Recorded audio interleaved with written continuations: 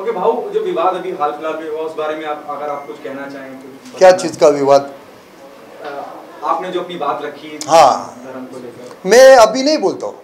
मेरे सारे वीडियो उसमें यही बोलता हूँ कि किसी भी धर्म के बारे में किसी भी मज़हब के बारे में आप मज़ाक नहीं उड़ाने का। हर किसी को अपना धर्म प्यारा होता है। और कहीं ना कहीं आप वो मज़ाक के तौर पे किसी को, किसी के सेंटिमेंट को हट कर रहे हैं। तो इसके वजह से हर बार मैं बोलता हूँ कि यहाँ ये, यही है वो हिंदुस्तान जहाँ पे सब मिल बांट के रहते हैं। इसलिए हम सब एक ही बोलते हैं। तो इसके वजह से मैं बोलता हूँ कि आज आप देखो, मेरे बहुत सारे मुसलमान भी दोस्त हैं जो मेरे गणपति बापा में आते हैं। उनका जब कुछ भी त्यौहार, ईद रहने दो, कुछ भी मुहर्रम रहने दो, कुछ भी रहने दो, भाऊ वहाँ पे जाता है। तो हम सब एक है यार। तो किसी को भी बुरा लगे, किसी के भी धर्म के बारे में गलत मत बोलो, मैं ये बोलता हूँ।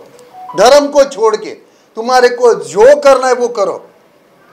धर्म को बांटने की कोशिश मत करो, क्योंकि ये ये हिंदुस्तान है और हिंदुस्तान में सब एक है। तो किसी का मज़ाक मत उड़ाओ। ना किसी के धर्म का फ़ायदा उठाओ बस ये बोलता हूँ मैं।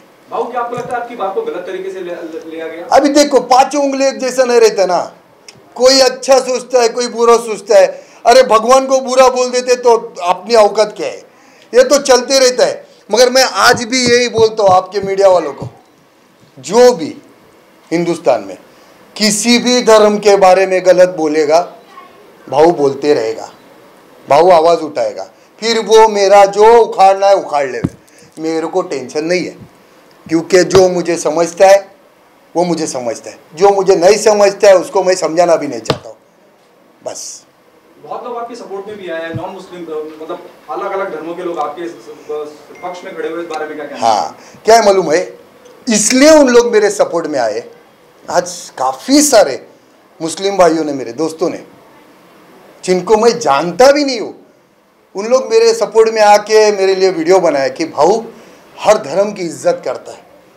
भाऊ, हर धर्म का, कोई भी अगर कुछ बोलेगा तो आवाज़ उठाता है। उन लोग जानते हैं मेरे बारे में कि कैसा है मैं। तो इसके लिए आएँगे सपोर्ट में। जो नहीं जानते, बस अपनी दुकान चलाना चाहते हैं, वो चलाएँगे ना भाई। नहीं तो दुकान कैसी चलेगी?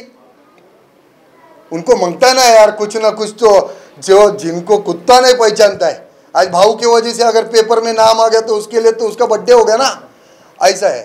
हाँ। सोशल मीडिया आपके अकाउंट डीएक्टिवेट कर दिए गए लेकिन रातों रात बहुत सारे भाव के फ़ैन बन गए भाव के पेजेस आ गए क्या हाँ, हाँ। देखो अकाउंट उड़ना ये मेरे लिए बड़ी बात नहीं है और कुछ नई बात नहीं है। अभी तक मेरे सात आठ अकाउंट उड़ चुके तो नई बात नहीं तो कोई अगर ये सोचता रहेगा ना कि भाऊ का अकाउंट उड़ाने के बाद भाऊ चुप बैठेगा। तो भाऊ चुप बैठने के लिए पैदा नहीं हो गया है। ये हिंदुस्तान ने बनाया मेरे को हिंदुस्तानी भाऊ। तो मेरा फ़र्ज़ बनता है। आवाज़ उठाते रहूँगा। एक गया दस गया पंद्रह गया क्या? किसका किसका तुम? कितने बार मेरा मुँह चुप बैठाएगा? ऐसा। खास बात आपको लगती है भाव की जब मैं बात करता हूँ? क्या ऐसी क्वालिटी है जो आपको छूती है इंडिविजुअली कि यार ये ये शख्सियत भाव की बहुत अलग है सबसे जुदा है? एक सबसे बड़ी बात हिंदुस्तान के लिए प्रेम। और सब छोड़ दो आगे की सारी चीज़ आ गई। भाव को जो हिंदुस्तान के लिए प्रेम है, वो उनकी सबसे बड़ी बात है। कौन है इनके? इनके अलावा और एक हिंदुस्तान से एक और एक आदमी दिखा दो जो जिनके सामने खड़े रहते क्या भाव को कोई रिस्क नहीं? उनको वो डर ही नहीं है। अभी अभी मेरे को एक बात बताओ। आज, मेरे को कुछ ज़रूरत नहीं है सब करने की। कुछ ज़रूरत नहीं मेरे को करने की। ऊपर वाले के बापा के आशीर्वाद से सब कुछ है मेरे पास। आज यह सोशल मीडिया का पहला ऐसा बाप है जो खुलेआम गाली देता है।